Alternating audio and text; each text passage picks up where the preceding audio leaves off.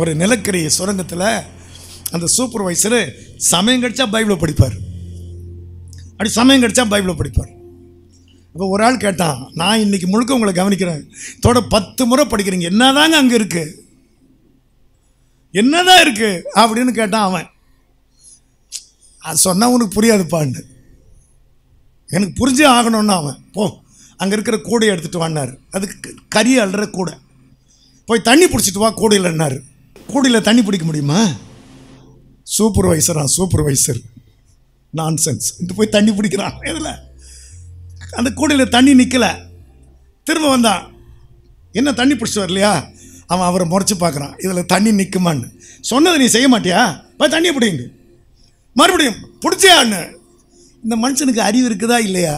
இந்த கூடையில் போய் தண்ணி நிற்குமா மண் வந்தான். அப்படி பார்த்தாரு. என்ன தண்ணி பிடிச்சா இதில் தண்ணி பிடிக்குமா சார்னு அவன் கேட்கல. இப்போ பிடிச்சிருவான்றாரு மறுபடியும் சூப்பர்வைசர் இல்லை. அவர் நினச்சாருன்னா சம்பளம் ஏறும் தொல்லை தாங்கலைன்னு பிடிக்கிறான். ஒரு அஞ்சு ஆறு முறை துரத்துனார். ஆறாவது முறை வந்த ஐயையோ இந்த கூடையில் தண்ணி நிற்காது அப்படின்னு எனக்கு இப்போ தான் தெரியுது. அப்படின்னு.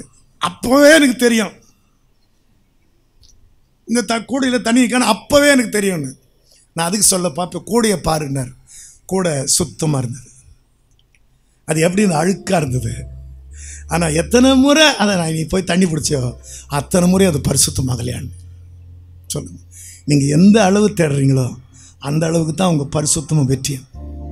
இப்போ நீங்கள் போய் இந்த மாதம் பத்தாம் மாதத்தில் இது வரைக்கும் இல்லாத அளவு நீங்கள் வாழ்ந்து காட்டுங்க பார்ப்போம் இந்த மாதமே கத்தர் சஞ்சலத்தை சந்தோஷமாக்கி துக்கத்தை மகிழ்ச்சியாக்கி நம்மளை ராஜரீகம் பண்ண வைப்பாருன்றது நான் அனுபவிக்கிற சத்தியம்.